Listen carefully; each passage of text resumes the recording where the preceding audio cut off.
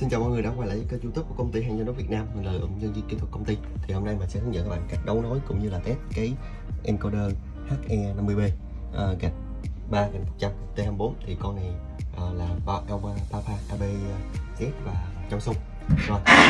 Thì uh, sơ đồ đấu dây của nó mình cùng với các bạn cùng nhau xem sơ nha. Thì con này cũng đấu dây rất là đơn giản. Mình đang cấp nguồn vào nó cho nó hai chân. Là dây màu xanh và dây màu nâu nè. Đó dây màu xanh và màu nâu thì màu nâu là nguồn cộng và màu xanh là nguồn âm. Con này nhận nguồn từ 12 tí 24V đây mình đang cấp nguồn 24V rồi pha A e của nó là chân màu đen. Màu đen thì mình đang đấu vào X0 nè. Đó X0 của BLC Delta DVB 14 SS2 11T rồi bây giờ mình sẽ sử dụng cái phần mềm uh, của hãng. Mình đặt cái chương trình cho nó và sau đó mình test cho nó cho nó trả cho mình.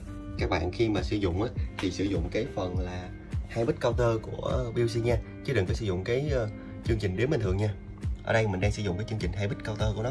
Thì các bạn có thể uh, tham khảo trong cái phần hép manual của nó gọi là hai bit counter hoặc là viết cái chương trình như vậy. Rồi ok. Thì uh, tiếp theo nữa là bây giờ mình sẽ bật cái bit mà, mà không on lên là cho phép nó đọc cái tốc độ cao.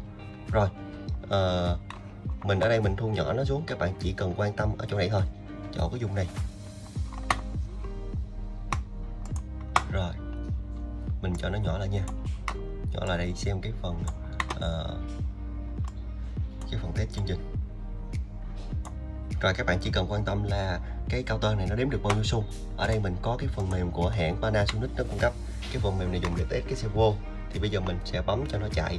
À, khi mà mình bấm á, thì nó sẽ quay được 20 vòng thì tương ứng với là 2.000 xung nhưng mà ở đây á, thì lại có một cái hơi bất cập xíu là do cái khớp nối của này cho mình hơi lỏng nên khi mà nó quay á, thì uh, nó sẽ bị giật về một hai xung gì đó. Nên uh, nó sẽ bị lố khoảng hai ba xung thì chuyện đó bình thường. Bây giờ mình bắt đầu mình bấm test cho các bạn xem cái tốc độ nó. Thì ở đây mình đang sử dụng là một ngàn xung tốc độ là một tốc độ là một ngàn vòng trên phút. Và uh, cái số vòng quay của nó đang là 20 vòng rồi bây giờ bắt đầu mình bấm nha. Các bạn xem cái phần counter nó nó đếm chỗ này. Rồi mình bấm test thôi đó nó quay kiểu SSS đó rồi 2.000 xu, ôi không lệch luôn. Rồi nhảy được một xung rồi.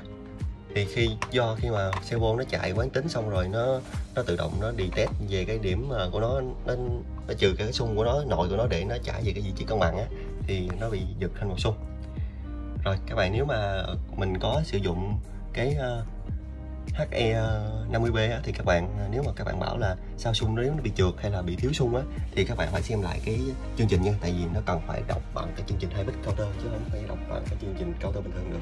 Rồi, nếu các bạn cảm thấy video này hay hữu ích, có thể giúp được cho các bạn thì các bạn vui lòng bấm like, subscribe cũng như là share cái video bên mình. Xin chào và hẹn gặp lại.